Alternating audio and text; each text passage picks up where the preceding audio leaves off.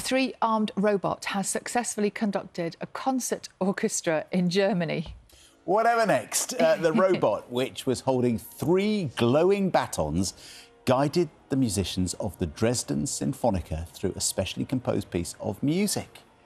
Look at that. Apparently, it took two years to develop and to train the machine to successfully conduct the or orchestra. The artistic director, Markus Rindt, said, It's not intended to replace human conductors, but to perform complex music that might otherwise be impossible. But if it's complex music that's impossible to conduct, what about the poor musicians who have to play it? Yeah, well, their faces were a picture, weren't they?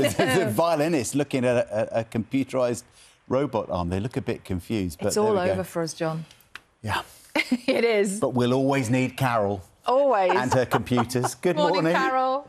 When they work. Thank you, John. And finally tonight, the machine maestro proving that three is hard to beat.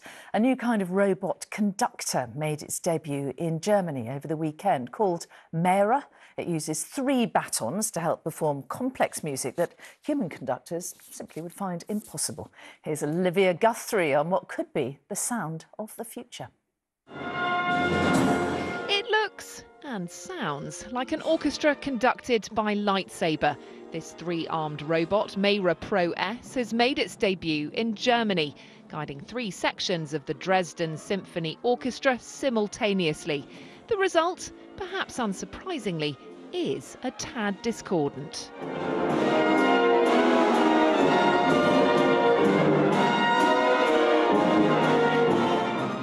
Behind Mera insist it isn't a replacement for human musicians, but can help them do more complex musical maneuvers.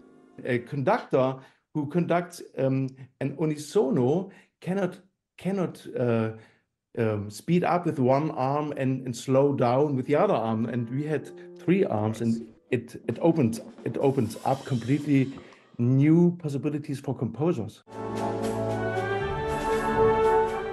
Robot conductors aren't a new thing. This spaceman conducted the Detroit Symphony Orchestra in 2008. This headless torso contraption was unveiled in Pisa seven years ago. And this humanoid kept beat in South Korea last year. But not everyone's convinced musical genius can be automated. It's preposterous, really. Anything can anything can make music, but nothing can make music like a human, like a human with a heart and with a soul and with life experience.